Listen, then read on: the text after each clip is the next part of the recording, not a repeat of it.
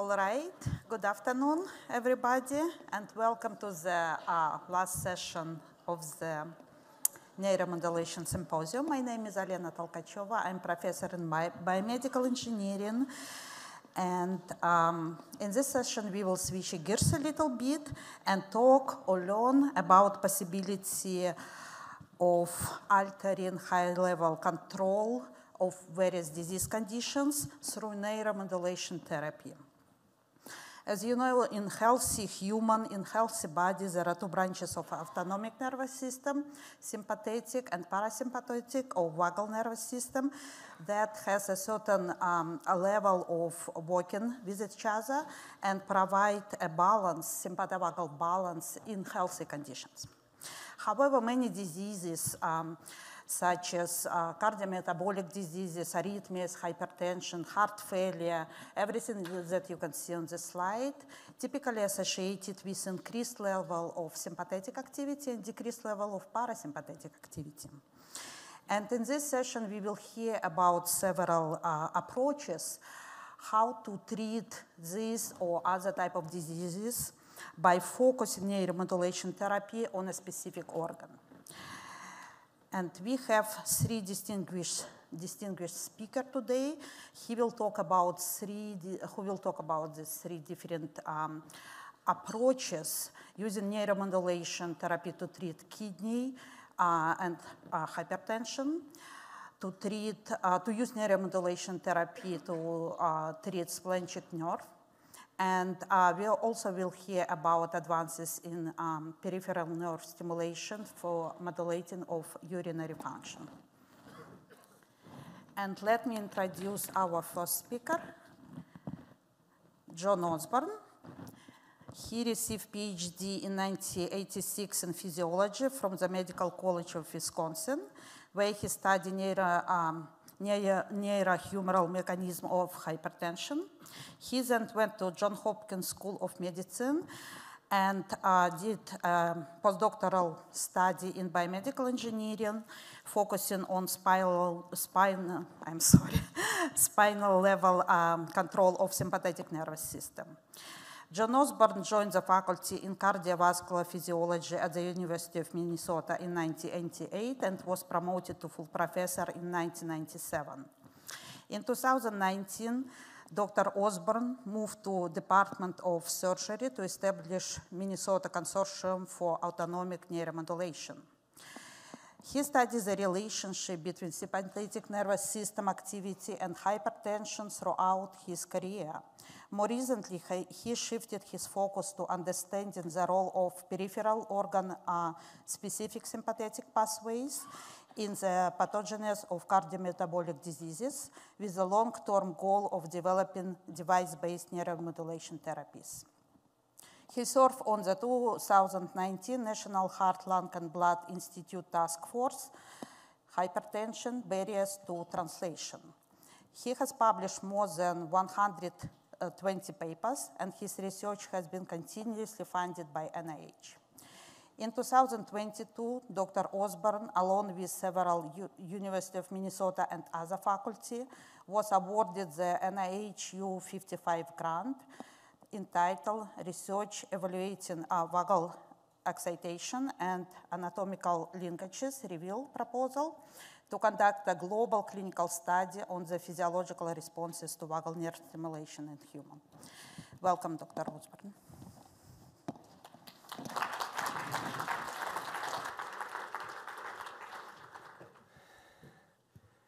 Thank you, Lena. So the last day of the meeting, the last session, 3 o'clock on a Friday. Tough gig, but I'm going to do my best here. Okay. Great. So first I want to say, I mean, I was up here yesterday morning to kind of introduce the meeting along with Hubert and Ziad and Tay, and we had pretty high expectations for what this meeting would be, and it has gone beyond that. I mean, it's really been great to have everybody here. It's been an amazing meeting. So thanks to you that are still hanging out for this last session. So I'm going to talk about the kidney and hypertension. And really, as Lena said, this is about taking neuromodulation right to an organ for a specific disease. We've talked a lot about VNS, which goes to lots of organs and lots of places. And so the idea is to get a little bit more targeted here. So I have a couple of disclosures that are related to what I'm talking about. These are both companies that have uh, catheters for doing um, renal denervation. So I've been studying hypertension my entire career, so it's really irritating to put this graph up. Hypertension is the single leading cause of death and disability in the world and has been for a long time. Uh, it's preventable largely through diet, exercise, those kinds of things.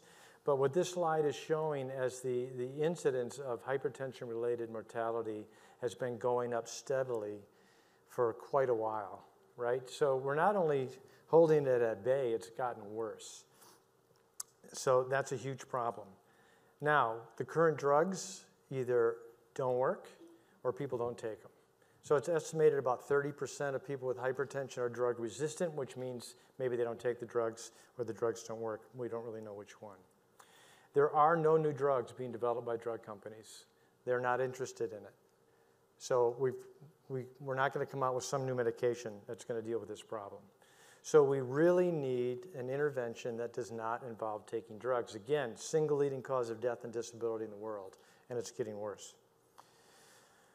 So this is the list of drugs for treating hypertension, uh, starting with diuretics on the top, and there's a whole long list of them. And what I've highlighted in red are drugs that either directly or indirectly reduce the activity of the sympathetic nervous system. And they're effective but so this is an extension of Jeannie Park's talk yesterday on hypertension. I'll be talking a bit about some of the things she did. There are side effects with these drugs. So, so, so that's an issue. And they act globally in the body, which is another issue. And this is based on a really outdated concept. When I say the sympathetic nervous system, I say, you know, everything's uh, an adrenaline rush. My sympathetic activity goes up to everywhere in my body all at once. And so this is the idea, well, let's give drugs that block everything all at once. So it's a globally acting treatment. The side effects are the sympathetic nervous system regulates lots of things besides your blood pressure. So you're going to have, you get dizzy when you stand up, you have a dry mouth, sexual dysfunction, bradycardia, and hypertension has no symptoms. You don't feel anything with high blood pressure. You take the medication, you feel worse. So that's, that's the issue. So, but what we really know is the sympathetic nervous system to each organ is regulated very discreetly depending on whatever the specific state is in the moment, right? So on the top there, cardiac sympathetic nerve activity, splanchnic, renal, lumbar can all be regulated differently. And the idea is they probably are altered differently in different disease states too, whether that's hypertension or any of the others. So the ideas emerged that the sympathetic nervous system is important, and maybe it's the sympathetic activity to the kidney specifically that's the problem. The kidney controls your blood volume, how much sodium you retain. So, so the idea is maybe it's the nerves to the kidney that are the issue. So that leads to the idea, well, maybe we can do an ablation. And I'm going to be talking about ablation therapy, and then I'm going to end with talking about neuromodulation. So, like every other organ in the body, the sympathetic nerves travel along the blood vessel into the organ, and you can see there that um, my pointer, oh, there we go. You can see that here are the nerves right here. This is a human renal artery, and they're just on the wall or just beyond that. So the idea is if you can get a catheter in there, you can go after those nerves. And, and interventional cardiologists put catheters in renal arteries all the time to put in a stent, for example. So, clinical trials of renal nerve uh, ablation. So the idea here is what I'm, what I'm showing is that the renal nerves control renin release, tubular sodium reabsorption, and the tone of the blood vessels, as well as renal inflammation that I'll, I'll show you in a second. So if we can denervate those, maybe we can reverse all of those effects. So there's three companies now that have some way of getting a catheter in the renal artery and doing an ablation. Medtronic I did it first, and with their spiral catheter, that's a radiofrequency catheter. And I can't, oh, there we go. Uh, ReCor has an ultrasound catheter. It's in the lumen. It has a cooling coil there, so you just you, you heat the nerves outside, but not in the lumen. And then the last one is a fairly straightforward needle catheter that you just inject alcohol, which is going to destroy the nerves. So all three of those are out there. Now, I'm going to summarize very quickly the field, and it, there have been different clinical trials, and there's discussion about whether it works or not. But what I'm going to tell you is all of them work. Radiofrequency ablation, this is the drop. These are drug resistant hypertensives. After radiofrequency ablation, you get drops in blood pressure with alcohol or with ultrasound. And these are different time points, but if you look at all these together, they all drop pressure about the same amount, despite the fact one's radiofrequency, one's ultrasound, and one's alcohol. So to me, that means they're all pretty much doing the same thing. So I'm going to summarize a huge field for you and just tell you it does work. Ablating the renal nerves works. Its response is equal to other monotherapies, meaning another single drug for hypertension. It's just as effective. It's about 10 millimeters of mercury in systolic or more, which may not seem like a lot, but you reduce cardiovascular incidences, heart attack, stroke, all of that kind of thing. So, what's the mechanism? And what about neuromodulation? So, we've been looking at this from many angles in our lab to what are renal nerves doing and how are they affecting blood pressure. And I've listed some of these here and of the people that have been involved, and I'm going to touch base on a little bit of each one of these as I go through the talk. So here's what came out of these clinical studies that was unexpected. You denervate kidneys. The idea is you're denervating the nerves to the kidneys so the kidneys will dilate their blood vessels or they'll excrete sodium.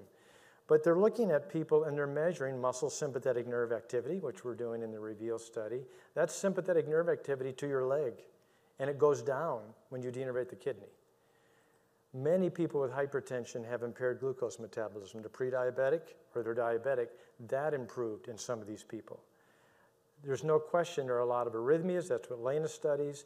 And the incidence of those goes away, and even sleep apnea goes down after you denervate the kidneys, right? So nobody was expecting it. And these are all good things, right?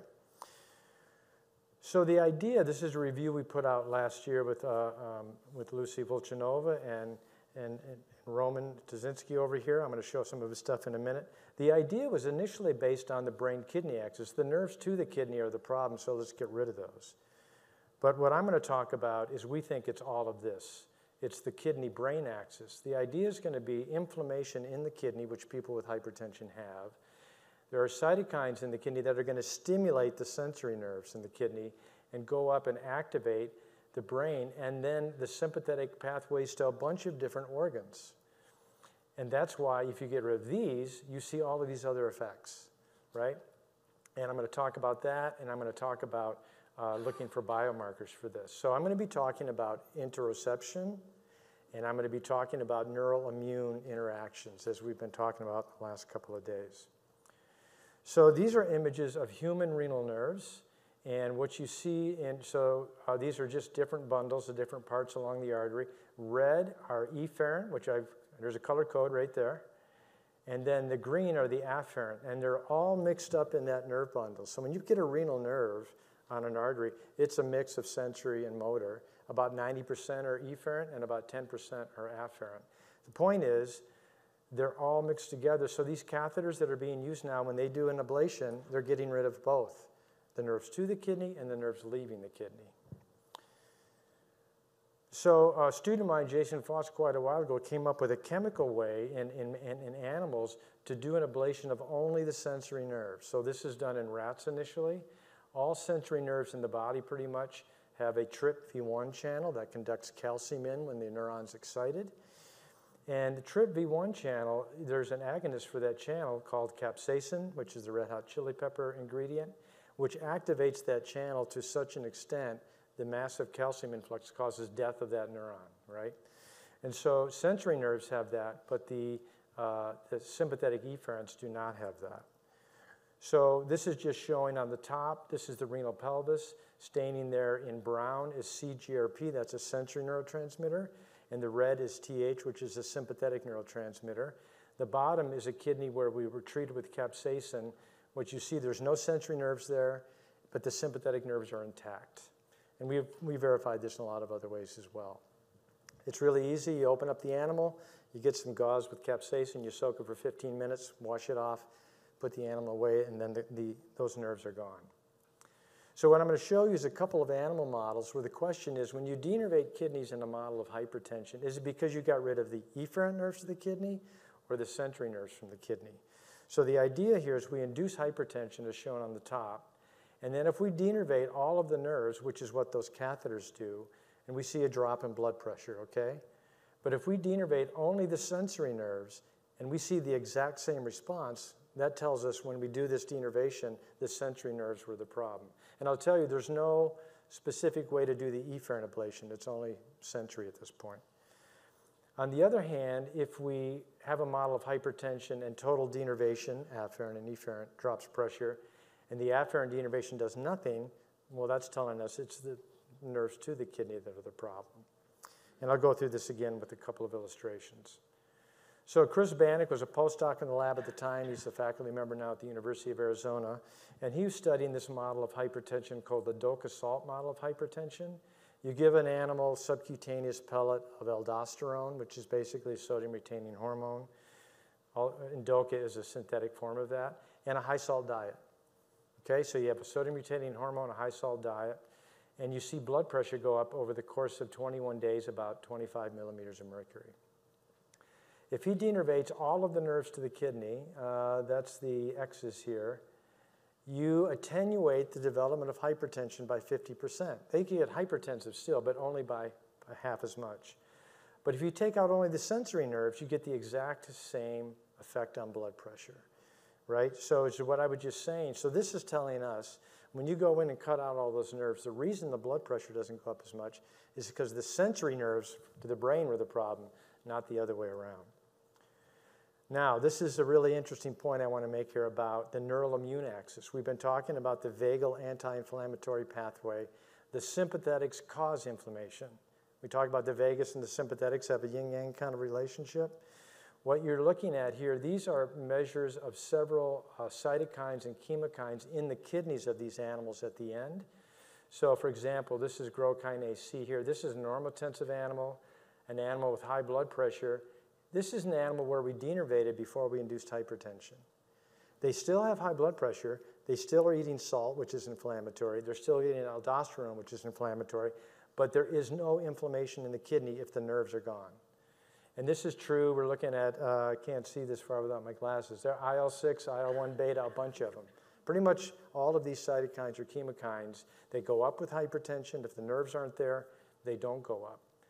And I, I was just talking to Sangeeta before this. She, we think this is neurally mediated macrophage infiltration and activation is probably the mechanism, but I don't have time to talk about that. But the th- so the other thing is, we said, what, what if, did these things show up in the urine, these cytokines? Because if they did, we could actually use that as a, as a biomarker. So these are animals. Uh, this Chris did this study. The top is blood pressure again.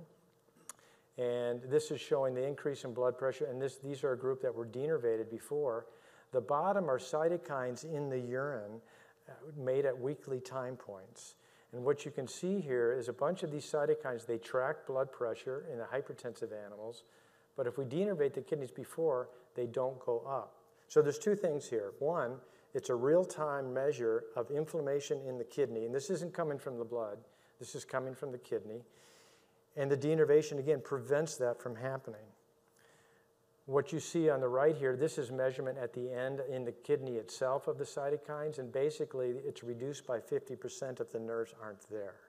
So we've seen this over and over again. So there's two ways, the bidirectional thing, nerves are needed for inflammation, but now what I'm going to talk about is the inflammation activating the nerves, the sensory nerves.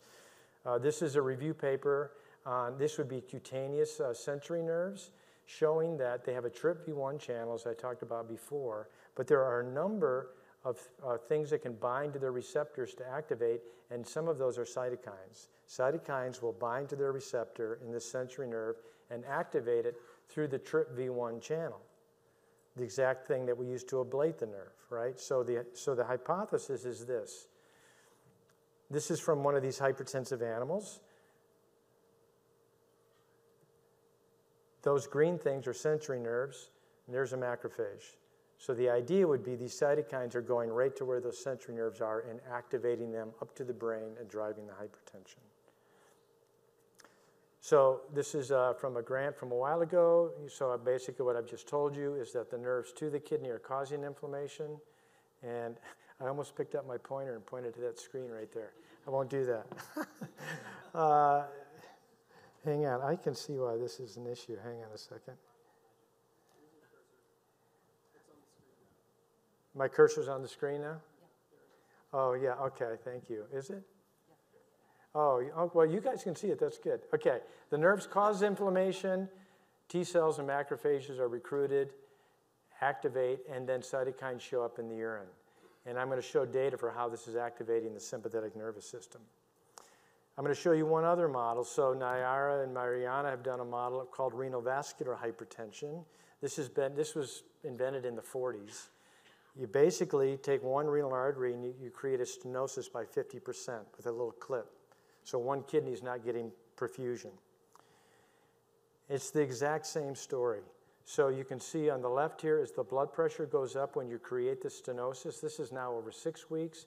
And I'm just going to tell you that right in those two lines there, one is a sensory denervation, one is a total denervation, and it's exactly the same.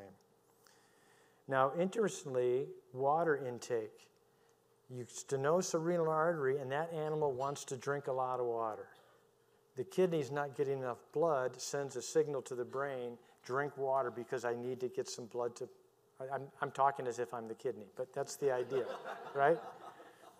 If you get rid of those sensory nerves, you don't, that doesn't happen. So this is telling us the sensory nerves going to the brain and stimulating thirst.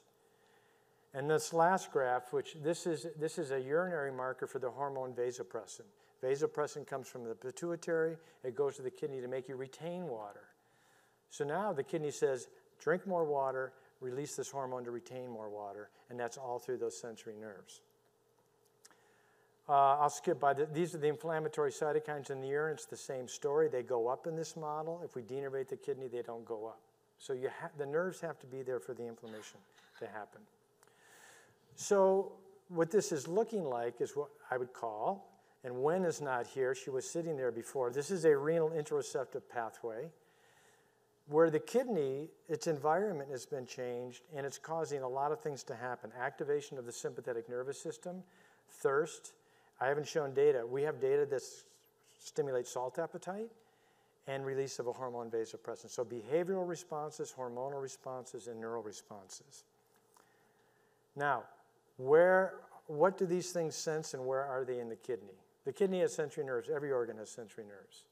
So, Roman, where are you? Raise your hand. There you are. So, Roman did his PhD with myself and Lucy Volchanova, and now he helps steer the ship of the Reveal project. So, he's been amazing in many ways. Roman's PhD project was to look at the anatomy of these, of these sensory nerves. So, I'm just going to show a few images here. First, for those of you who don't think about kidneys, it has a nephron. It's not a neuron, it's a nephron, and that filters blood and creates urine. So every kidney has about a million of these, filters lots of blood, and that structure right there, it's the capillary surrounded by uh, the tubule, and blood goes in there, and that's how you start the formation of urine. So that's kind of where all the action is happening in the kidney. This is an intravital imaging image from P.D. Pedretri's group uh, in a rat, and what you see in the center is the glomerulus, and I just want you to notice that pulsing that's linked to heart rate, right? So that's just giving you the image of the glomerulus is sitting there. It has a pressure and it's pulsing and it's filtering plasma all the time. So I like to use this image because it almost looks like a brain. And the kidney has a cortex and a medulla, uh, just like the brain does. But I use it too because the blue is standing for CGRP, which are sensory nerves. And you can see it all over in the medulla right there. And so typically people talk about sensory innervation of the medulla. Those green dots are the glomeruli. Roman, using state of the art clearing techniques and neuroanatomical techniques, started to look in greater detail in the kidney. And this is one of the favorite slides. That big thing, that's the glomerulus. That's staining for nephrin, which is the glomerular structure. And the purple uh, lines you see are sensory fibers. And what you see is it goes there and it kind of goes around. And the 3D image you see going there, it kind of tracks around. And if you look closer up here, you can see some of these more close up images. The point I want to make here is the glomerulus is surrounded by what's called Bowman's capsule. It's epithelial cells that surround it. These nerves never seem to go inside of Bowman's capsule. They're on the outside. They're hanging around on the outside. And these images show that even more up close. You can see here, here, and here. And these are like varicosities, which you would see in a sensory nerve. And then Roman's also shown you can have several glomeruli connected to one sensory fiber. So it might be sensing from several at, the same time. So the, doing the functional stuff with this is difficult. We tried optogenetics. We had some challenges with that, so we haven't got to the functional aspect. But the idea is these sensory nerves sense the pressure of the glomerulus. They send a signal through the nervous system and back and regulate the, the tone by the sympathetic nerves of the input to there to regulate the pressure. We haven't tested that yet. But this is the first time anyone's seen these fibers around these glomerular structures. So that's what we're thinking about. So the idea is to translate this into humans if the story holds. So Arthur is a MSTP student in the lab. It to my right, right here, is working on this project with us, and Lucy Volchanova in neuroscience, to go into a large animal model using catheters that are used in humans to see if this actually applies in a large animal model. And I'd like to say Arthur just found that today he got an, his F30 that he applied for in first try, so, so that was nice. He's in California at a meeting. I wish he was here. Right. Um, so the and this is the warm and fuzzy part of the talk, which I think we need about this time.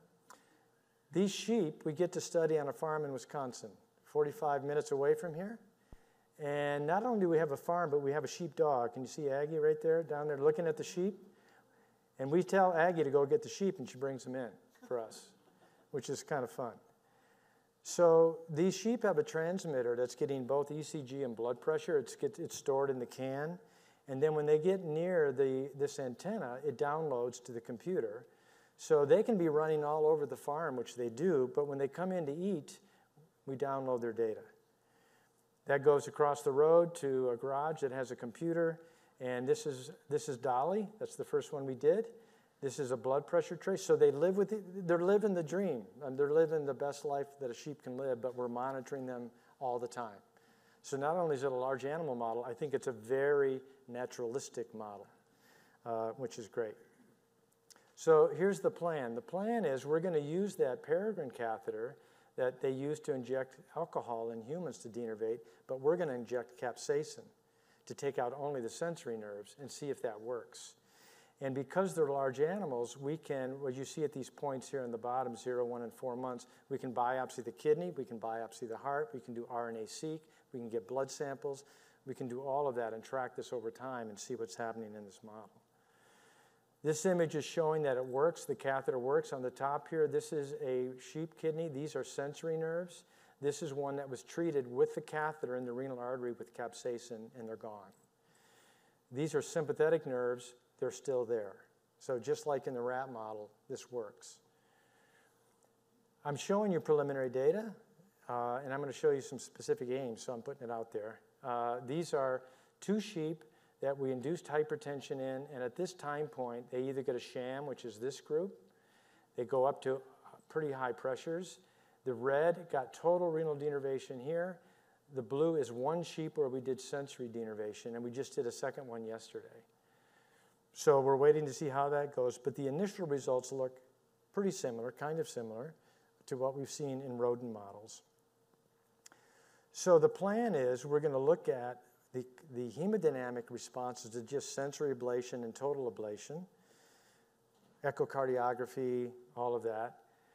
Lena is in charge of looking at sympathovagal tone to the heart, which we predict will change because of the sensory input to the brain that changes that, and also does optical mapping of the heart to look at electrical remodeling.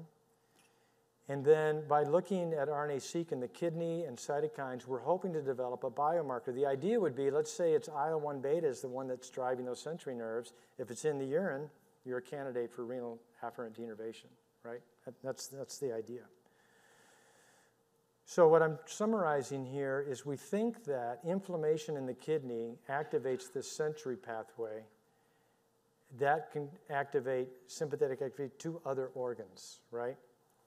So if this is true, then neuromodulation should do the same thing. So I'm going to end. So we have an R21 Zifa is a PhD student in Matt Johnson's lab working with Lucy, and we're doing this in the pig model. And the idea is to start with cuff electrodes, but to see if we can shut those nerves down and see the exact same thing we do if we do an ablation. And then you can talk about closed loop and all that kind of stuff, right? So we're working on that now as well to try to move into the neuromodulation field. So I want to finish with this message. This is the kidney, but I think this applies to almost every organ in the body as we've talked about. Interceptive signaling is coming from every organ for their normal physiology. Inflammation of an organ could amplify that signal in a way that is dysfunctional and driving the nervous system and maybe other diseases. Then neuromodulation, I'll end with that, is the future of trying to modulate that in an organ based way. So that's what I've got, and I'm happy to answer questions if you got them. Oh,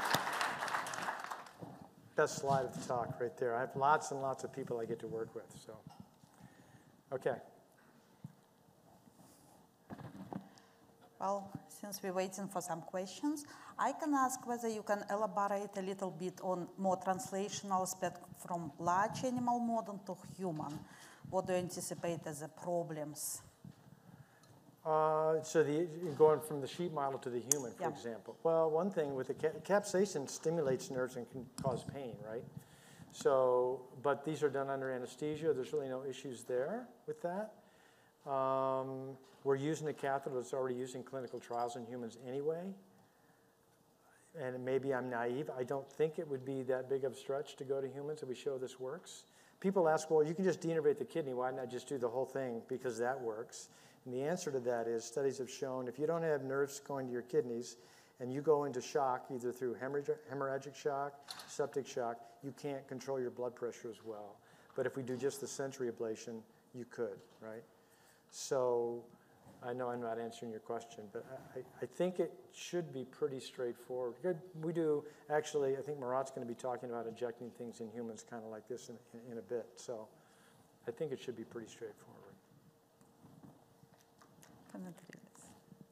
Any que- okay, there are some questions. Okay. I was going to ask um, for the pig study. I'm over here. Um, are you also ablating with capsaicin, or are you using a different way to ablate your pigs?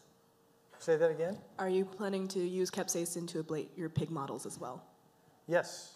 Yes. So, you know, that's, to me, the ablation's is a proof of concept that that's a target and what it does, right? So that, that will work in the pig model. But the idea is to do uh, neuromodulation with electrodes to do like high frequency block, if that's what you're asking. So we, we would compare the two and see if we get the same thing. And we had questions over there. Um, yeah, so you showed that uh, Where's this coming from? way in the back. Okay. I am. She is standing. way in the back. I have no chair to sit in. um, and so you're just targeting the afferents, Right. and you're saying that there are all these good benefits, but the afferents must be doing something important. Right. I know. And so I'm wondering, like, what is the downside? It, does this mean that their thirst regulation might be off?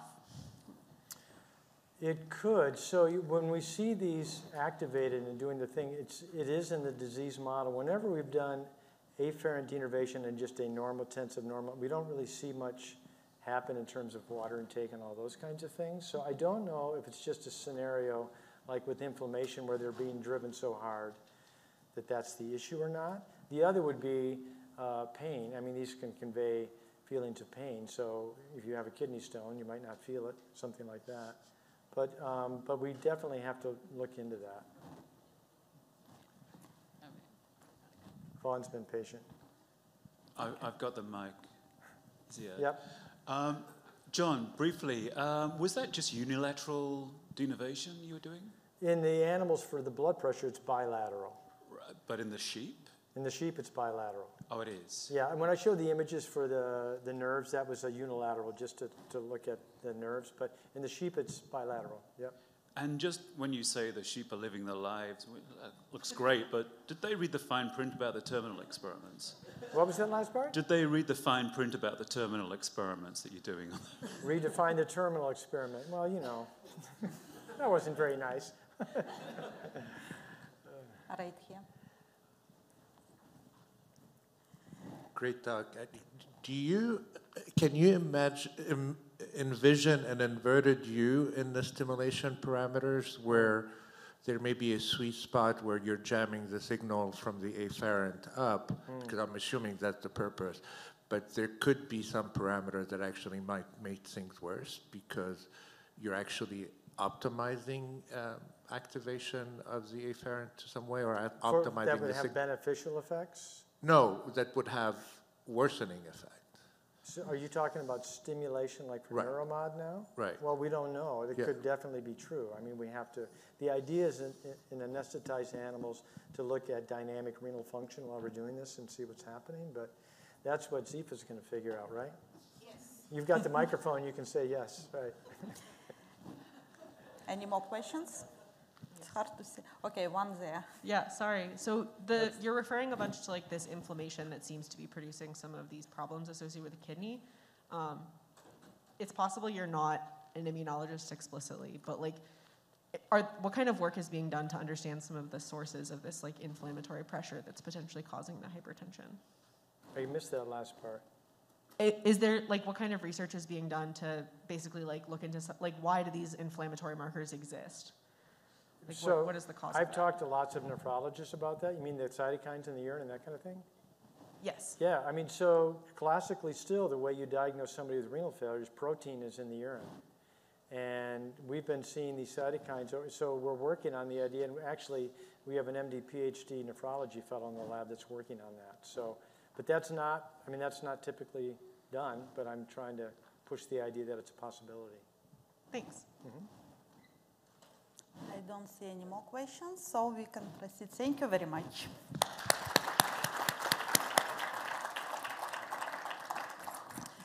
I will introduce our next speaker. Dr. Yoo received his PhD in biomedical engineering from Case Western Reserve University in 2004. He then completed postdoctoral training at the Duke University in the Neuroprosthetic Research Laboratory. In 2012, Dr. Yoo relocated to Canada, where he is currently an associate professor in the Institute of Biomaterials and Medical Engineer- Biomedical Engineering and the Department of Electrical and Computer Engineering at the University of Toronto. In addition to academic position, Dr. Yoo is a co-founder, president, and chief science officer for the EBT Medical and STEAM 49 Incorporations, all based in uh, Canada. Dr. Yoo's research interests include the development of various neuromodulation technologies for minimally invasive electrical uh, uh, nerve stimulation, urinary bladder stimulation, and peripheral nerve stimulation for modulating the central nervous system. His research has been continuously funded by various funding agencies such as uh, Natural Sciences and Engineering Research Council, Canadian Institute of Health Research, and Connaught Funds. Welcome. Thank you. Thank you, everyone. Um, Also, Also measure variability. and You also like to thank data doesn't give it to the, um, the organizers for the invitation to come here and speak about the research that, that we've been doing in my lab.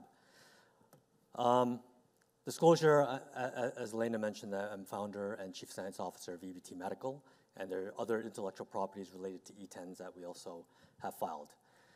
So today I'll talk about bladder physiology. Probably you'll learn more about bladder than you'd ever wish to, to know about. Um, we're interested in overactive bladder. And overactive bladder is a symptom syndrome which is characterized by four basic um, symptoms. So frequency, meaning that patients go to the bathroom more than eight times a day, over 24 hours. They go to the bathroom at least once a night. And they experience episodes of urgency. And these are uncontrollable urges that they have to go to the bathroom. And so patients, if they're lucky, they can hold it in until they get there. If not, they, um, they have leakages. And that's what urge incontinence is. So that's different from um, stress incontinence is where you cough or you laugh and you, right, you have leakages. So it's different. Now, as uh, most clinicians will tell you, it's a quality of life issue, it's a quality of sleep issue, and obviously, if you cannot sleep and if you're suffering from overactive bladder, it will have detrimental effects on your mental health. So it, it is very serious. The prevalence um, is quite high. um, in adults. So in general adults, it, it affects about 15 to 80% of adults. Over people over the age of 65, it exceeds 30%. And what's interesting, or maybe unfortunate, is that there's a significant number of pediatric patients. And so there are patients, I'm sure if anyone who, who works in this field knows that even there are patients who get sacral implants, pediatric patients that do. It's that bad. And then as you can see through this spectrum, right, you can sort of glean that there are patients who suffer overactive bladders throughout their life. So it, it, it has a huge impact on, on the human population. The cause of overactive bladder is not known, and so for the vast majority of patients, it's considered idiopathic.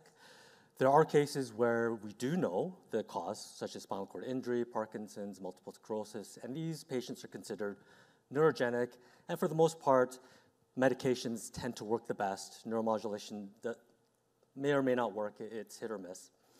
Some interesting facts is that patients, when you look at these studies and when we look at these self-surveyed studies, 50% of the population or, or the people that, that, um, that are diagnosed or, or considered with having overactive bladder don't even know that they have an overactive bladder or they don't think it's serious enough to seek medical help.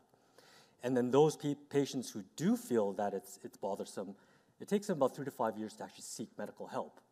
And then finally, when they do get medical help, they're, they're generally given medications to anticholinergics or beta agonists, and turns out that the, the statistic that most people use is that 80, 80% of patients stop using medication within the first six months. And so there's a lot of refractory patients. And that's where neuromodulation comes in. And as I imagine most of you know, sacral neuromodulation is the most widely used third line treatment for refractory overactive bladder patients. It's about 350 implants worldwide so far. and um, it's, a, it's a minimally invasive surgery. It requires continuous stimulation, and so that's why we have a battery implanted along with a lead wire. And well, the, you know, the, the downside to that is very expensive, obviously low penetration rates, and there are uh, cases of low, loss of efficacy after five or so years. Um, one thing that's clear is that the mechanism is not entirely known, but we, what we do know is that the nerves that are activated by sacral neuromodulation, we can characterize at least what, the what those nerves are. And those are specifically the pudendal nerve and the tibial nerve. And I'll talk about how these nerves can, can um, play a role in inhibiting bladder function.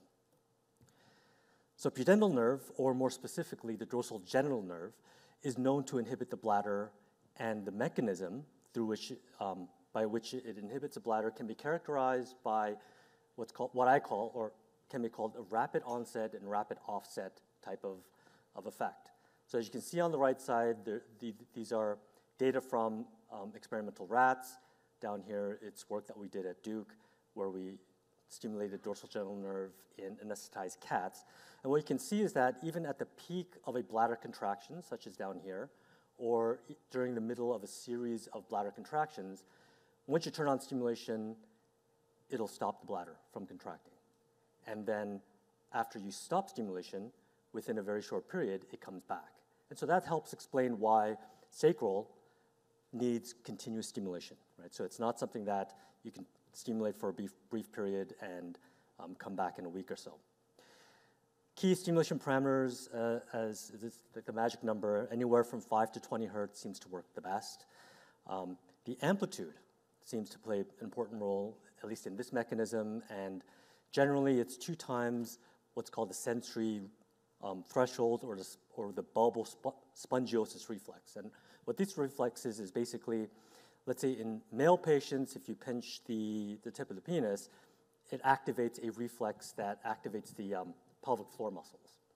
And so the stimulation amplitude that's needed to evoke that reflex, um, you need to activate at twice that amplitude to elicit this bladder inhibitory reflex. Now, it turns out in humans, there's an analogous reflex. And surprisingly, or maybe not surprisingly, the same stimulation parameters work equally well.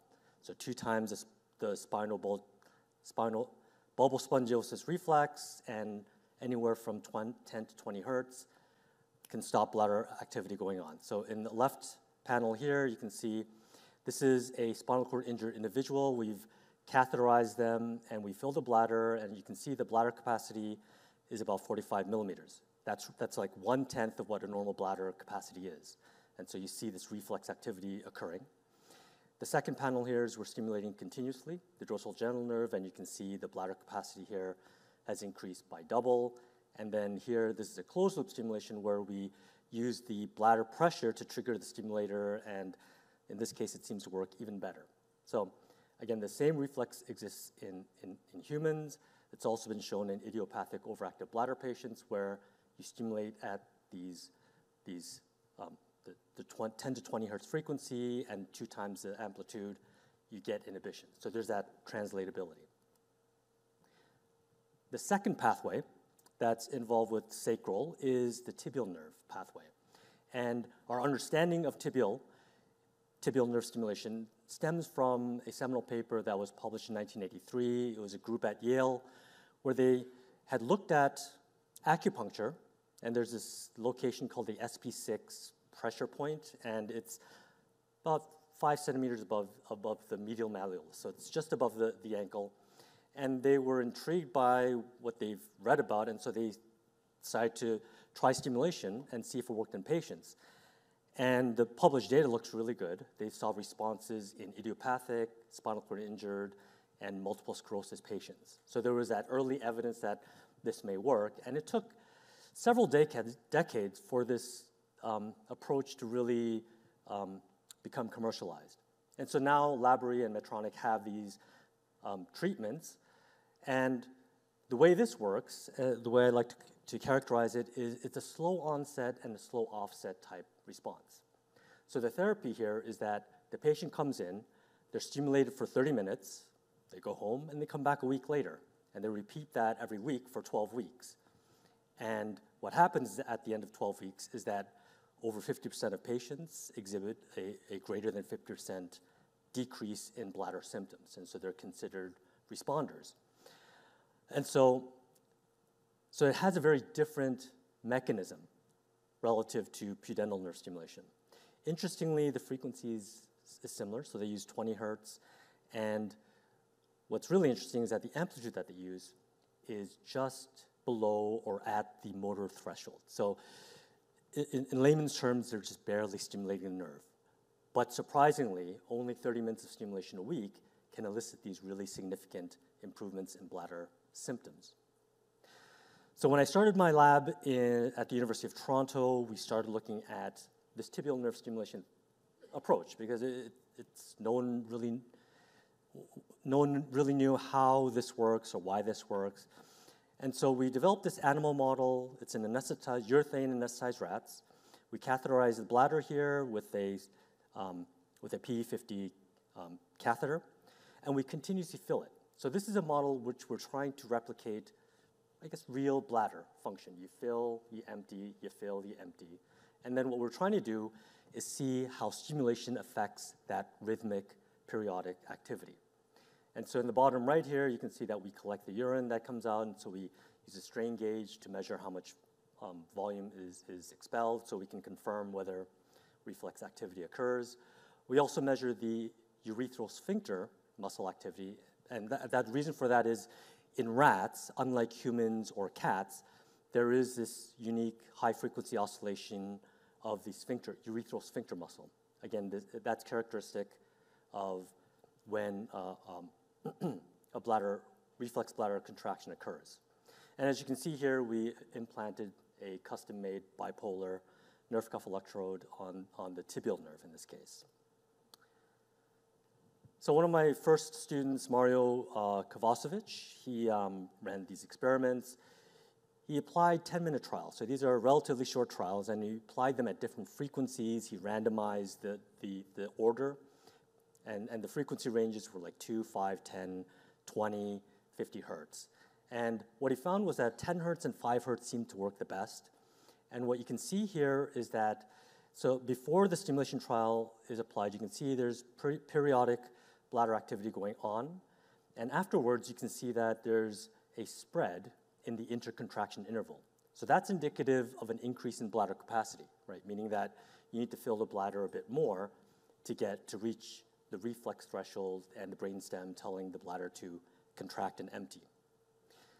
So what he showed was that you can achieve these post-stimulus effects, right? So these are longer-lasting effects beyond the stimulation.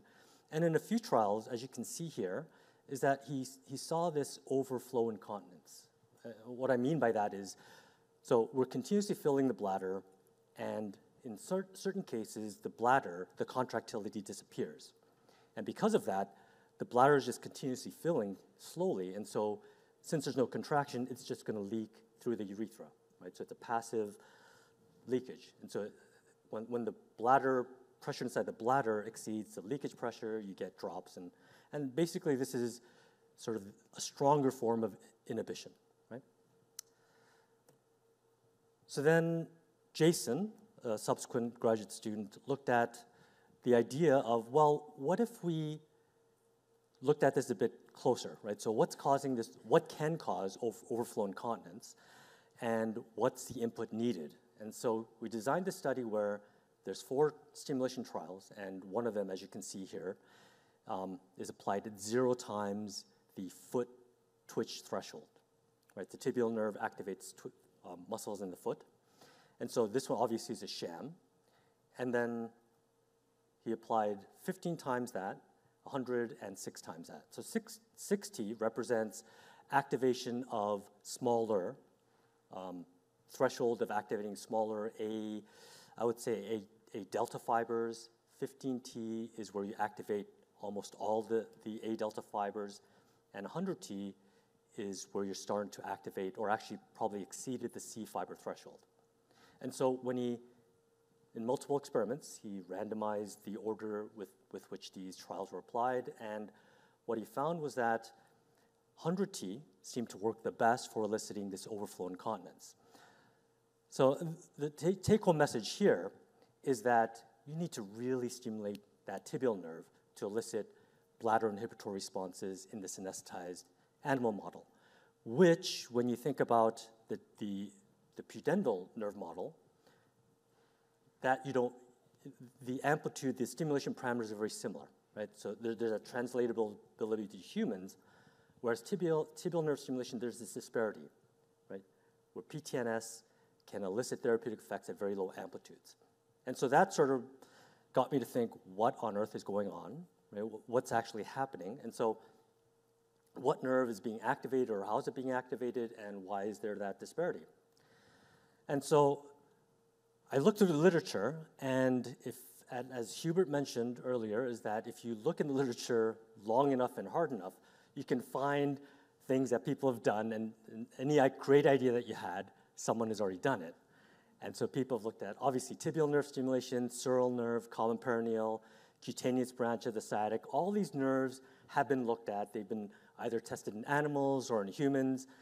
But one nerve that n- no one had really looked at is the saphenous nerve, or saphenous, depending on where you're from.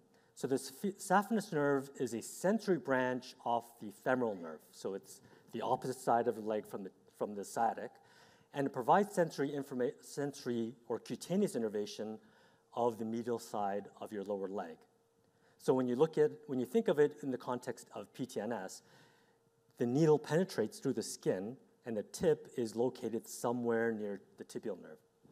And so the question that sort of I was trying to answer, and um, or I asked my graduate student here, Chris Elder, to, to look at was what happens when you have a PTNS needle that's placed in the location where you would typically apply PTNS therapy, and can it activate the saphenous nerve? And it turns out, yes, it could activate certain branches. And so what this plot shows, I'll try to explain it as, as, as clearly as possible, each square here represents the location of the needle tip. So for example, this needle, the tip is located at that location, and that corresponds to that block right, square right there. And so if you follow the color, it tells us that at that location, the needle is activating, um, I would say 60%, I think it is, 60% of these um, saphenous nerve branches. And so depending on the location, you could activate zero. Well, here we're not, we're activating at least one, or we can activate all of the five branches. So basically it's say, saying that there is evidence, at least here, that you can activate the saphenous. Does it really do anything? That, that's, a, that's a completely different question. And so that's what we tried to show in the same animal model where we tested tibial nerve stimulation. So the same anesthesia, same animals, well, not the same animals, but the same breed and, and size and everything. And we placed the electrode instead of on the tibial, we placed it on the saphenous, right just below the level of what you would think the knee, the knee is for a rat. I don't think rats have knees, but right, the, the curvature of the knee is somewhere just below that. And so what Zainab here, a previous PhD student in my lab, what she showed was that, again, if you apply 10-minute stimulation trials, and what you'll notice here is that the amplitude is much lower. It's 25 microamperes. And, and I can tell you that nerve activation threshold for the saphenous is about 17 and a half microamperes. So this is less than 2T, two times the nerve activation threshold. And what she found was that, for, for example, trials where we stimulated at 10 hertz, we can get these long, prolonged bladder fills, which again would be in, indicative of an inhibitory response. And what she showed was basically 10 hertz and 20 hertz seemed to work the best among all the different frequencies that we tested. She took the, this experiment to the next step where she changed the stimulation protocol. So in this case, we're stimulating 10 minutes on, 10 minutes off, 10 minutes on, 10 minutes off. So this is 10 hertz and 20 hertz, and we, again, randomize the, the frequencies. And again, 20, 20, 20, 20, 40, 40, 40 on, 40 off. And so what she found was that during these short duration trials, again, she sees these prolonged intercontraction intervals. And then when we increase the duration to 40 minutes, she starts to see these overflow incontinence episodes. Okay? So it's similar to what we saw with tibial nerve stimulation at 100T. And so when we looked at the data, it turns out that at least the incidence rate of, overflow incontinence was highest at 10 hertz, and then obviously the 40, 40 minute stimulation trials seem to be the most effective. So there's a dose dependent response here. The more we stimulate, or the longer we stimulate, the stronger response. More recently, we, uh, a PhD student currently in my lab, Grant, what he looked at was so what's the mechanism? Because we know that pudendal nerve stimulation is an intraspinal mechanism, meaning that if you apply pudendal nerve stimulation in spinal cord injured patients or in spinal cord transected animals, you can still inhibit, inhibit reflex bladder activity. Tibial, you can't. And it turns out with saphenous, you cannot as well. So it's in control animals, you, you can see here that after two stimulation cycles, so this is 30 minutes on, 10 minutes off, 30 minutes on, 10 minutes off, and then we see an overflow incontinence episode. So in control animals, we can elicit this overflow incontinence. In chronic spinal cord injured animals at T8, we don't see it despite multiple trials. So at least we know that there, this is a supraspinal inhibitory mechanism. So then the question is, can we do this in humans? Does it translate? And short answer is yes. And so we collaborated uh, with um, Scott MacDiarmid. Uh, he's, in, he's in North Carolina, Greensboro, North Carolina.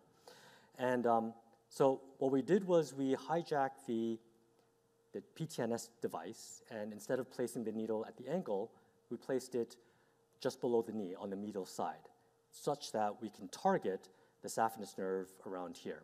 And the reason why we want to do this is because the saphenous nerve, again, it's a, it's a cutaneous nerve. There, there are no muscles associated with, with it. So unlike tibial nerve, where if you stimulate, you can activate muscle twitches, you, you can't have, you, you, you don't see that. And so we have to confirm nerve activation by the patients telling us that they can feel paresthesia starting around here and then radiating all the way down to their ankle. And so once we confirm that, we followed the same protocol as tibial, so 30 minutes a week. They came back the following week for 12 weeks. And what we found was that we got a pretty good response rate, about 87.5%. And so we see, when we look at individual um, symptoms, other than frequency, um, we see significant de- decreases in urgency, urgent incontinence, nocturia, and urge incontinence at night. When we looked at the quality of life measures, again, statistically significant improvements all across the board. And so that was great, right? In a, in a pilot study, this seemed to work.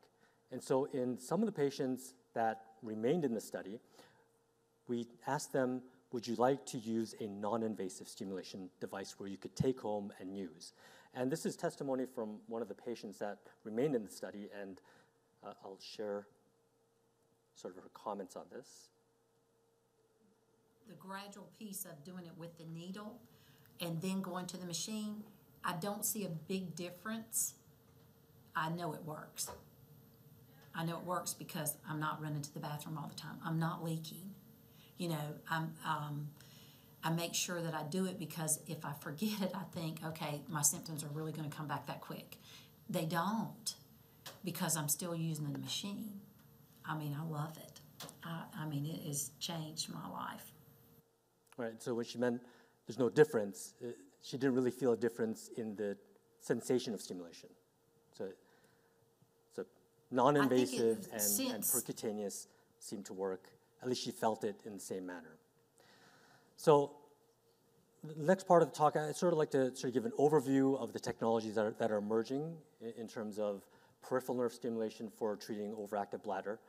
And so, key, some, some examples that are probably well known BlueWind Medical and StimGuard, at least a few years ago, right? They have these interfaces which are based on RF radio frequency um, externally powered devices. And so here, BlueWind uses this device here where they do a surgical cut down, they get through the crural, fascia, and they orient this such that the electrode is facing the nerve, and then they suture the, the fascia to with these um, holes in here, right? So they, they suture it back, suture this to prevent migration, and they close up the skin and whatnot. So this is one of the more common approaches.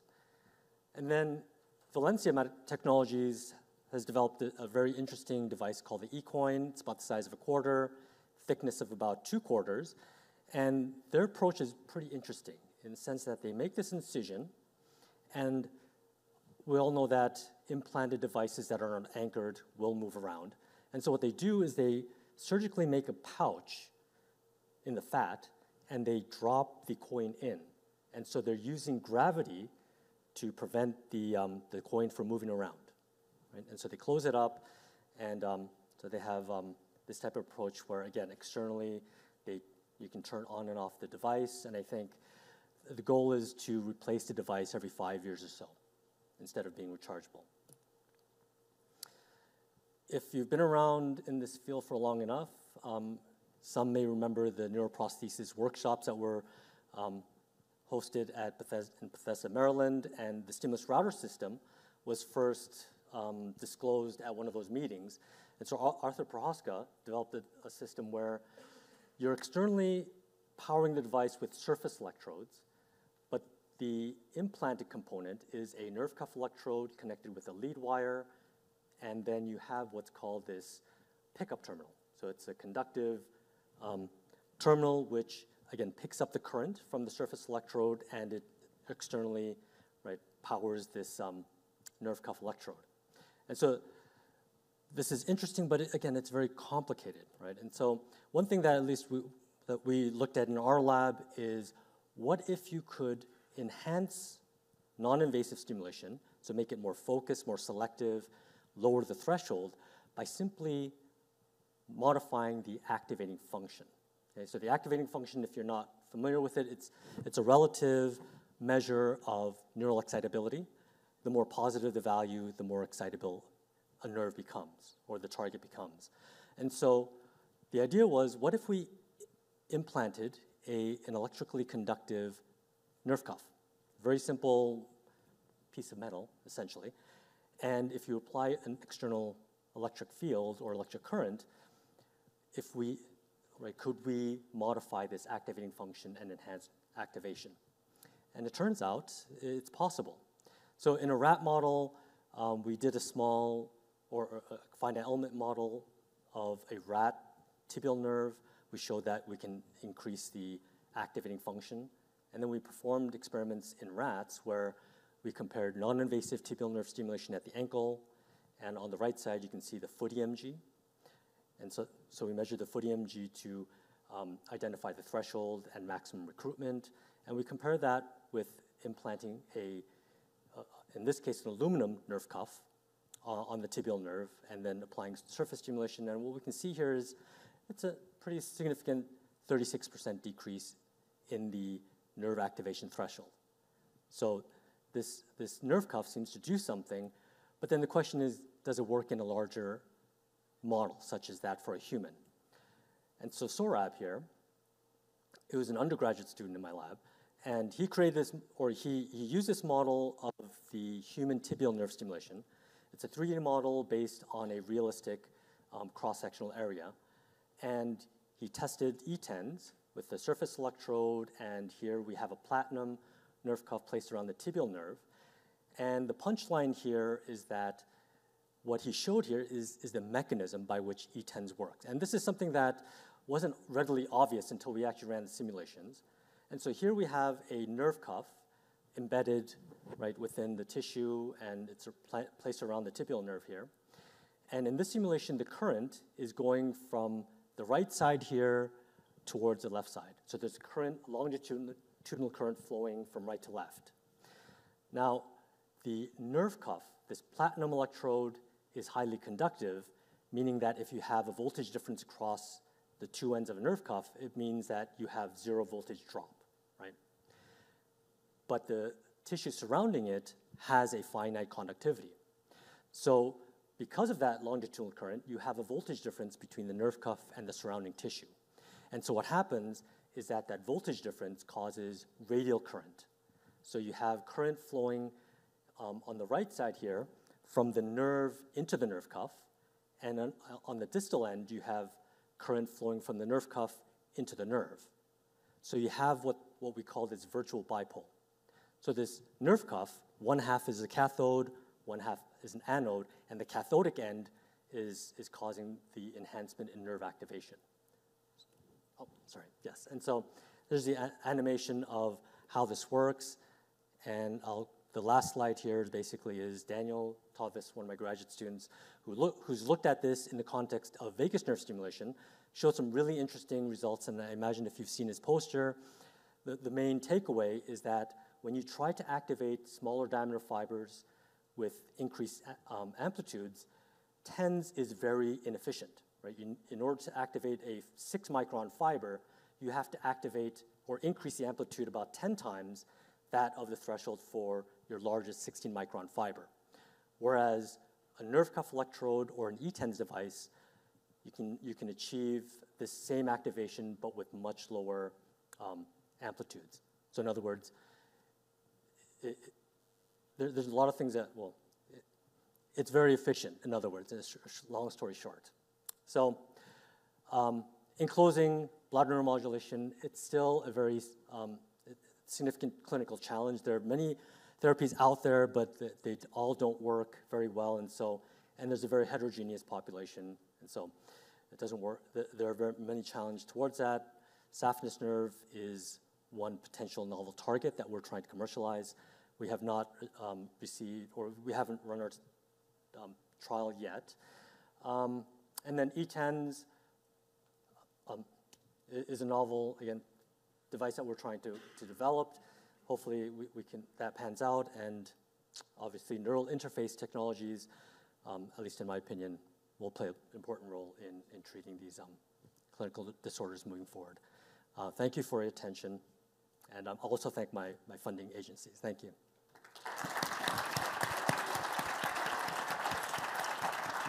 I think in the interest of time, please hold your questions until after the Oh, session. okay. Thank you. Sorry. And I will introduce the next speaker. Dr. Fudim received his medical degree in 2011 from Heinrich Heine University, Düsseldorf, Germany. He then completed medical residency in internal medicine at the Vanderbilt University, fellowship in cardiology, and master in health sciences, all at Duke University. He is currently an assistant professor of medicine at the Duke University Medical Center. Dr. Fudim is a co-author of more than 300 peer-reviewed publications and over 10 patents. His recognition list include numerous awards. Among recent awards, I will just mention the Douglas Zipes uh, American College of Cardiology Distinguished Young Scientist Award, Duke Heart Center Leadership Council Award, European Society of Cardiology Educational Award. Dr. Fudim's research interests include heart failure with preserved ejection fraction and specifically contribution of splen splanchnic uh, vascular compartment and effectiveness of catheter-based uh, unilateral ablation uh, for development of heart failure. His research has been continuously funded by American Heart uh, Association and Doris Duke Foundation. Thank Welcome. you. Thank you, thank you. So give me 20 minutes of your attention. I'll be fast. You know, uh, in, in my field of clinical medicine, we don't have talks that go 30 minutes. So this is unusual. you know, they're getting shorter and shorter. I had a three minute talk once. Um, all right, so um, I had to add this slide this morning. You know, we are going to turn things a little bit different. I guess I might be the only cardiologist around here, but um, what I'm going to be talking about is heart failure. Heart failure is, like hypertension you heard earlier, is the silent killer. Well, heart failure is not silent at all and is the number one cause of hospitalizations in the United States, unless you consider childbirth to be a medical problem. That's the only thing that's more frequent than a heart failure hospitalization in the United States. But it's a global problem. It's um, 2 to 3% of the US population. It's really pretty much the same across the Western world. And if you do the math, you know, there are a couple of people in this room that probably have heart failure already. This is just prevalence. This is just prevalence as we speak right now.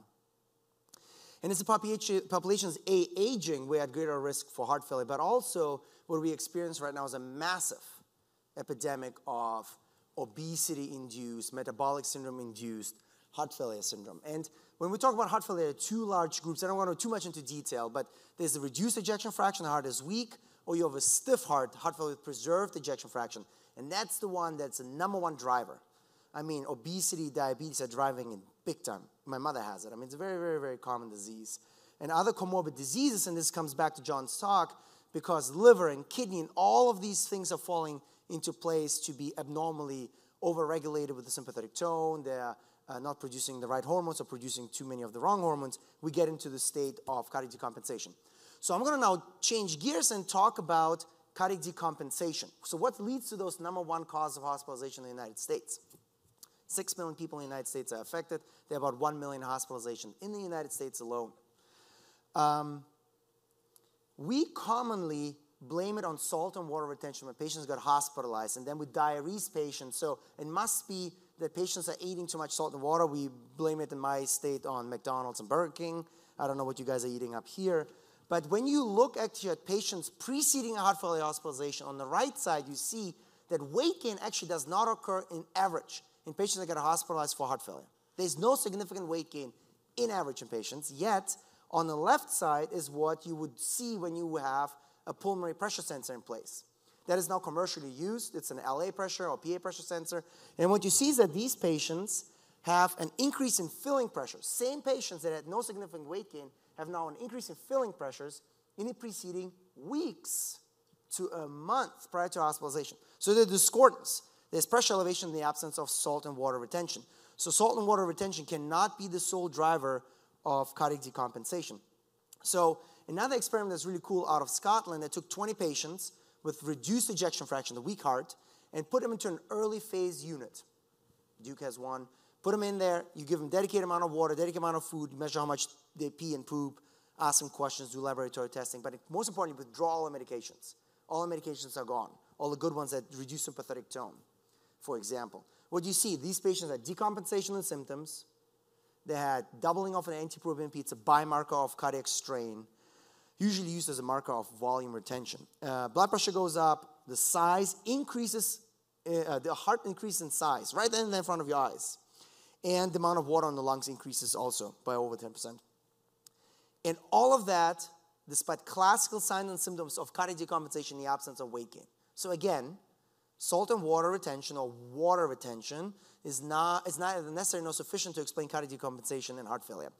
This might not resonate, I understand, in this uh, audience of a lot of engineers, but in medicine, in cardiology, that is the common thing. The first thing a patient gets is diuretics when they hit the hospital for heart failure. The second and the third is diuretics. The problem is, I'm just telling you, 50% of cases, there's no need to give people diuretics. Not a shocker here, shocker in other talks. All right, so spine compartment. Why do I obsess? Why I was invited to this specific talk? Well, I am a heart failure cardiologist that couldn't care less about the heart. I believe a lot of the problems are below the diaphragm. You know, I did go into cardiology to study the heart, but I sort of moved caudal. And the problem that we have is that could we potentially explain the discordance of pressure elevations, which is a fact in heart failure, in the absence of gain, simply through a distribution phenomenon? So, if we want to explain distribution phenomenon, I'll get to that in a second. Let's look where the majority of intravascular blood volume sits. Let's understand the blood volume in the human body. Well, the majority of that sits in the abdominal belly, a little bit more in my case than in your cases, particularly after lunch. And it um, pools a lot of blood, up to 40% of blood volume. The spleen and liver are pure sponges for blood pure sponges for blood. And we heard a lot about the spleen here. I'm thinking more of a vascular organ. I don't care as much about the uh, inflammatory components there. But it's densely autonomically regulated. Whether you believe Mother Nature or God, they put 20 times the nerve endings, amount of nerve endings on the abdominal cavitary vascular structures than that on arms and legs. We obsess about regulating the peripheral organs, but the abdominal cavity has a lot more innervation than other organ systems. Why would that be the case? Well, because if you shift a little bit of blood volume out of that cavity through increase of a little bit of have massive shifts of blood volume out of the abdominal cavity into the thoracic cavity, and that could lead in a predisposed heart that is stiff, a stiff heart and central vasculature, it will lead to decompensation. Well, I did not get a $20 million gift, so I cannot give you fancy graphics. It won't be 3D reconstructions. This is, this is all I can do, guys. This is all I can do. This is going to be cheap bottle trick. So imagine this. There's this concept of stressed and unstressed blood volume. The concept of stressed and unstressed blood volume is a functional concept, not an anatomical concept, but those two are very close. Stressed blood volume, think of it as preload, as the blood volume shifted or being located in the heart, in the right atrium, for example. So this is a bottle that's screwed on top, it's closed. I'm not adding any water, simply through the distribution of blood volume out of the so called unstressed compartment. That is blood volume that leads to the distension of vasculature. I'm going to do a thought experiment with you all. Okay, so this is a more basic crowd. I can, I, I can use your brain part. It's good. Usually I skip that part. Okay, so take a human body, and that has been done in humans, and connect them to a bypass, like a bypass for surgery. What happens in a five liter hu- human with five liters of blood volume three and a half liters immediately drain out of the body into a reservoir when you connect them to a bypass. Okay? That, what just came out of the human vascular system is the stressed blood volume. The stressed blood volume that's gone now remains only the unstressed blood volume. The veins and arteries in the human body nearly collapse, but they're not flat, flat, because there's still one and a half liters in place. That's unstressed blood volume. If we reinfuse the one, three and a half liters, that's stressed volume that leads to distension of the vasculature it's what leads to that bottle to be filled and shift blood volume to the north. The sympathetic tone is the sole driver of the distribution of blood volume between those two compartments, which are functional compartments. Because vasoconstriction just reduces the amount of unstressed blood volume without having changed anything about the anatomy. For Jean Claude Van Damme fans, of those who know this gentleman, so sympathetic hyperactivation, really what, what it does is it redistributes blood volume out of the periphery. And here, because the blood volume in the abdomen is so rich and so vast, it primarily targets the abdominal cavity. Remember, 20 times the nerve endings. So that is what the sympathetic tone does. And here comes the kicker. Every time we exercise, blood volume shifts out of the abdominal cavity north. That is the normal process of recruitment of cardiac output. When we exercise, and I'm an exercise physiologist, when we exercise, we double our heart rate at peak okay, as a 50 year old man, for example. But our cardiac output has to increase fivefold with peak exercise.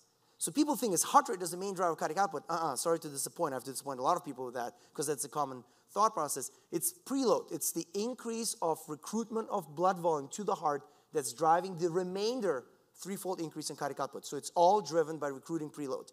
And that's not going to happen by increased inotropy.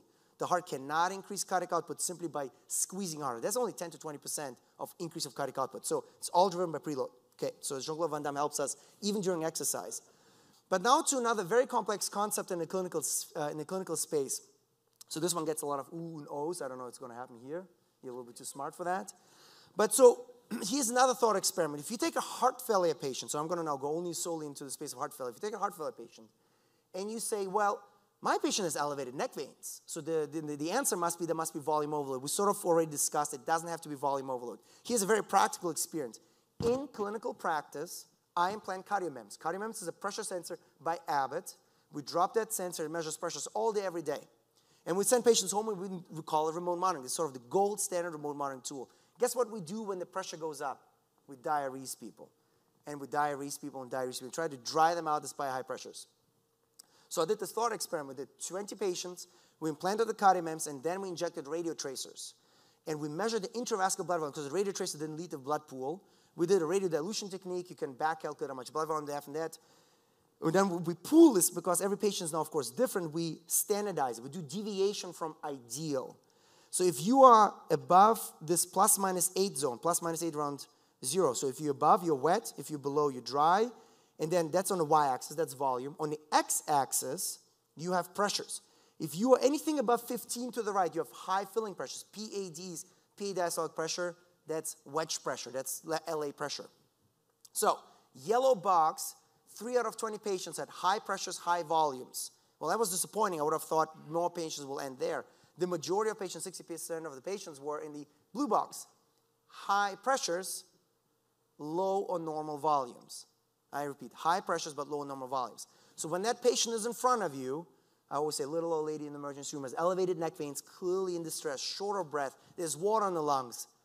I'm telling you, 60% of those would not be volume overloaded, yet that's not how we treat or target those patients. Same thing would be in hypertension. We would tend to, in the past, diurese those patients, yet through vasoconstrictive process is really just a hypertensive process that probably leads to distribution. All right, so I'm going to move on. So pressure does not equal volume. That's a big ooh and ah moment here. tough crowd. Tough crowd. I wasn't, I, wasn't, I wasn't prepared for this. So spinal nerve stimulation. So you, you guys love talking stimulation. Um, so we actually did the experiment. One of my first studies I've done at Duke is we went to the OR and there's something called IRE, irreversible electroporation. Some of you are familiar with that concept. And they did it for treatment refractory cancer patients, before they did the Whipple surgery, they blasted the tumor with a lot of current, a lot. And what they saw is that these patients had rem- remarkable increases in preload and afterload and blood pressure. So they started doing epidural blocks in these people. They snowed them with gas anesthesia, propofol. These people had no pain, I guarantee you all. We stimulated those nerves, celiac plexus, that's a common confluence of all splanchnic nerves, and measured all the hemodynamic parameters we could have measured. This is now humans without heart failure. And what we saw is that when you stimulate that for 30 to 40 seconds, blood pressure, arterial, RA pressure, cardiac output doubled within seconds. It's very hard to do anything in a human and double it that quickly. Within seconds, it doubled. You turn the simulation off, and it comes down within a minute back to baseline. So it's an on off phenomenon. As you see in one individual patient here, we've done it in six patients. Then we said, let's go to a heart failure patient. So we went to a heart failure patient, and he, he just underwent an ablation procedure for AFib. We heard about that earlier. And here, because the human is all lined up with catheters anyways, we then obtained permission and we went down the azygos and we stimulated the splanchnic nerve directly. Rather than celiac plexus, we went slightly more upstream, stimulated one side, one nerve. What do we see? Same thing. Slightly less of an amplitude, but the pressures went up, and left atrial pressure, the RA pressure, the cardiac output, everything went up, not by 100%, by 30, 40, 50%. But here comes the kicker. When we turn off the stimulator, the pressures did not come down, they remained high.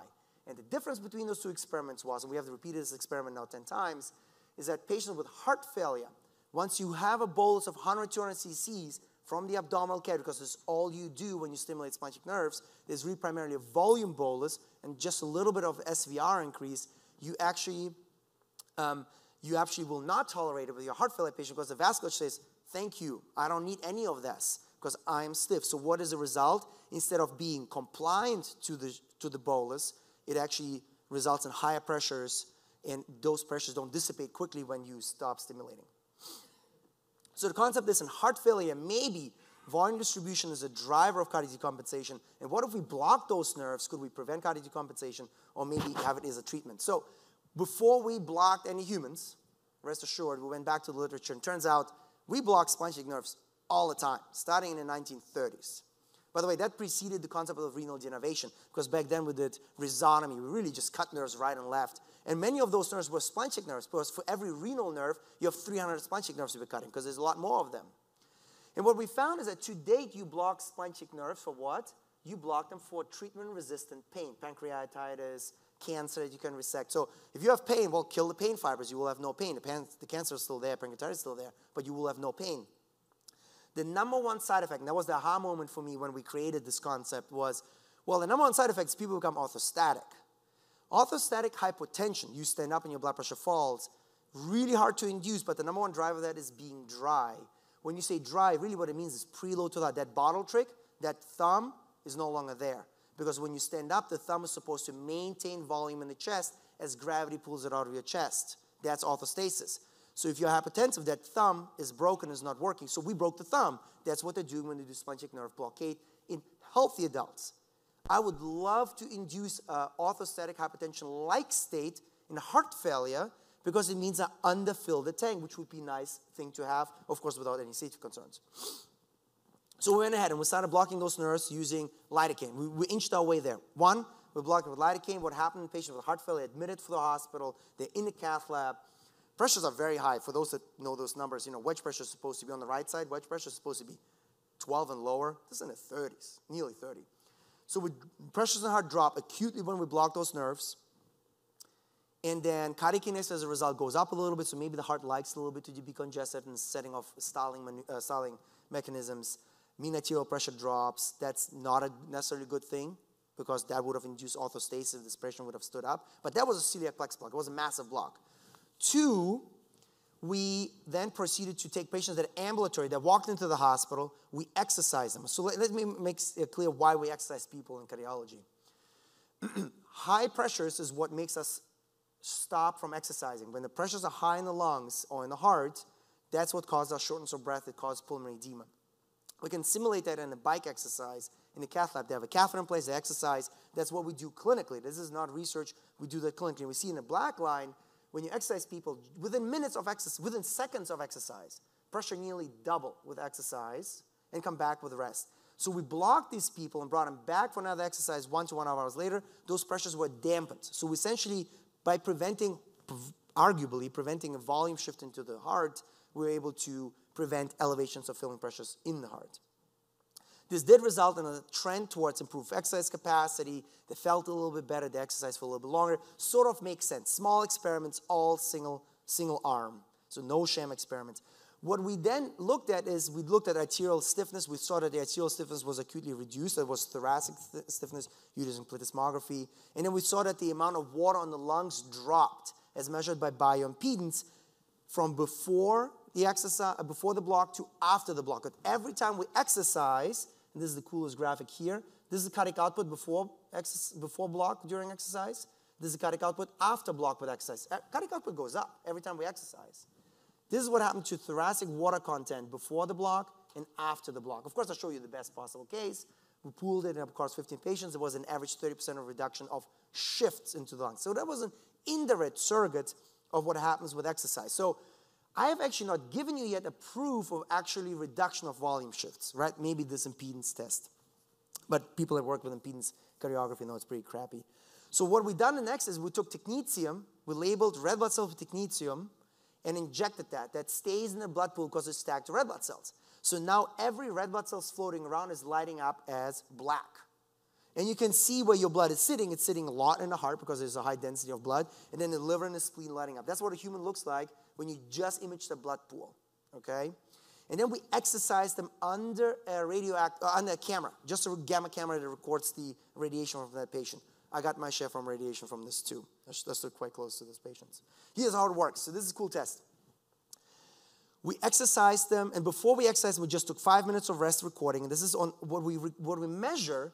I, I'm not going to count the counts. I'm going to count the ratio of chest to abdomen and standardize it with the computer algorithm. The thorax to abdominal ratio was here two point something, and then we exercise them, black part to black part. Exercise, the thorax to abdominal ratio rises. So there's the net shift of blood from the abdomen to the chest. Very simple. I'm not saying how much, I'm just saying there's a net shift, probably 100, 200 cc's. And then when we block it post, and that's one month later, we blocked them with Botox. And they came back one month later, celiac plexus blocked with Botox. We were able to demonstrate that there was a reduction in resting thoracic abdominal ratio because arguably there's more counts in the abdomen versus the chest. Um, and then the same thing with exercise. This is another patient where the ratio was somewhat similar, but it was less affected rest, more affected with exercise. You can imagine there are different phenotypes, we didn't catch the same amount of nerves, et cetera, et cetera. But it certainly demonstrated for the first time we actually do prevent shifting of blood as the mechanism of action for spinal nerve blockade. Okay. Well, this is all short term. Botox, as I know from my wife, only lasts for three to six months. All right, all right, all right. No lies detected. So the uh, so the we went on and actually cut the nerves, and I couldn't do that at Duke. They would have fired me right away for have done that. So we went actually to Eastern Europe. A little easy to do things over there. So we went and we actually cut the nerve unilaterally in patients with preserved ejection fraction, single arm study. We cut it on the right side. The beauty of cutting a nerve, you got it in your hand. This is a picture in histology. You know you cut the nerve. There was no question of what was removed. And then we follow our patients. So what you see here, all the way out to 12 months, red is pre, 12 months is black. We actually exercise them every three months thereafter. Bless their hearts. That's what we say in the South. So we exercise them all the way out to 12 months, and we saw that there was a persistent reduction in filling pressures with the rest and exercise. If you recognize those curves, very similar to what I showed acutely, that we are able to reduce exercise, induce filling pressures. People did exercise a little bit further. They had a higher peak VO2. That's how we measure objectively peak performance. Okay, a few more slides left. Catheter-based approach. Of course, now we went on and delivered a catheter-based approach because if we can ablate those nerves percutaneously, could there be a, a transvenous approach? Yes, there is. There's an RF-based technology which allows you to burn a nerve on the right side via a transvenous approach. You go down the IVC, SVC, azygos, and go down all the way into the costal veins. Relatively easy to do. Even I can do it. My hands are not the best. So this is a cool experiment. That's what I promised John that I will show. There are not many experiments like that in humans, all right? So what we have done is on top, and this is not publication ready, that's why it looks so ugly. What we've done is we found the nerve, we visualized the nerve, we stimulate the nerve transvenously, and what we de- demonstrate, what I showed you earlier, the pressures go up, they stay up for a while. If you actually would draw a baseline, this stays above baseline for 10 minutes here. Patient did not like that, what we were doing. He's sedated on the table, no pain. And then at the bottom, we ablated the patient and brought them back we did it immediately uh, at that time point, and one month later we stimulated the same location because we tagged where it is, and the nerve was no longer excitable. So we demonstrated we can stimulate the nerve, ablate it, and then it's gone thereafter. So it sort of makes sense just to demonstrate that we don't not burning pleura or some other structures in the area. So we've done a, a number of uh, single arm observational studies for safety purposes, and then demonstrated ourselves. Do people actually get benefit from it? Again, single arm studies. So stay tuned. You know, there's probably a large sham effect. I will not disagree. People at KCCQ is how we measure quality of life. It's a validated score in cardiology, leads to approval of drugs and devices by the FDA. People felt better. The improvement was dramatic. I mean, 30 points. Too good to be true. Let's say half of it is true. That would be fantastic. Anything more than five points is significant. Was like 30 points here. Then people tended to walk more, six minute walk test. Again, something that leads to FDA approval for drugs or devices. If you show changes here, 30, 40, 50 meter improvement in patients with preserved or reduced ejection fraction. That's a lot as well. So now, in cardiology, you cannot get approved if you do not have a randomized controlled trial that has ideally sham. So we have designed a sham controlled study that had an open label run in phase first. You want to give, the, and it's now a multi center study because we wanted to roll it out to many centers across the US, total of 18 centers. And what we've done is that one to two patients were test patients per site where it was open label. The doctor knew what they were doing. Nobody was blinded. so they can practice, and so it's easy to get the site going. That's how the catheter looks. It's an, uh, a saline irrigated catheter. Baseline characteristics are skip. Typical heart failure patient, 70 years old, multimorbid. There's 6 million of them in the United States. There were no significant device-related infection, uh, rela- um, device-related events related to the catheter itself. Did people have some pain around the procedure? Yes. Was there a growing bleed? Yes, but nothing got perforated, nothing broke in the body, anything like that. It's relatively benign. This is what the pressure looked across 18 centers, across 26 patients uh, before. Then we came back at one month No changes in medications were allowed, and pressures were five, six millimeters lower in follow up. So, five, six millimeters does not sound much. That's a lot. That's a lot in cardiology if we drop pressures by that much. So, it's not like hypertension, where five would not be dramatic. This is a lot for heart failure patients. If it's sustained, of course, long term and sustained in a randomized control fashion, because that was open, open label data. People felt better. That's what you take away from this figure. There was significant improvement in symptoms, quality of life. People had a significant improvement in six minute walk distance. It's hard to fake walking longer. That's essentially what that means. If you're old and sick, it's hard to fake walking significantly more.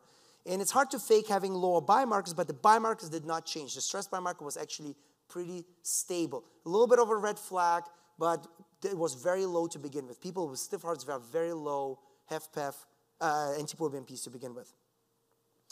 I'll skip that. Okay, on echocardiography, no significant change. There was, the heart didn't really change over time. All right, um, so I'm going to leave you with this slide because this is important. When we do pilot study, this is a pilot study, 110 patients that are randomized that will be presented in fall of this year. We don't know when, the data is still blinded, but the enrollment is complete. We know that this is just a pilot study. We want to identify uh, responders, and this will be true for your, for your other studies. There's no way, because heart failure is very diverse. I'm going to give you two extreme phenotypes. Some of you might have those as parents of yours little old lady, young obese man. Both of them are heart failure, 40 years age difference. Cannot be same responsiveness to any therapy offered to them patient because physiology is so different. So we enrolled all of those phenotypes intentionally because we don't want to play God and know what we, you know, we don't have crystal balls. So we're going to enroll both of them when we have successfully, and we're going to see who's going to respond or not. We know there will be no responders, and with those, we then move on to a pivotal study. Now, 700 patients randomized, sham controlled. So this is the summary of all the studies we have done in this space so far. Conclusion, congestion is a complex concept. Pressure does not equal volume. I hopefully convinced you of that, okay? The cheap bottle trick. Can you give me half a million? Can we make nice graphics? I'm tired of that bottle trick. Pressure does not equal volume, and the distribution of blood is likely a key driver of cardiac decompensation. Not the main driver, I, don't, I, don't, I can't claim that, but certainly a contributor to it.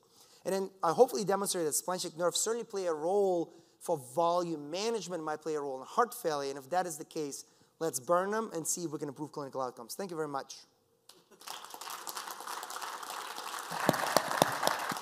Let's send all, all our.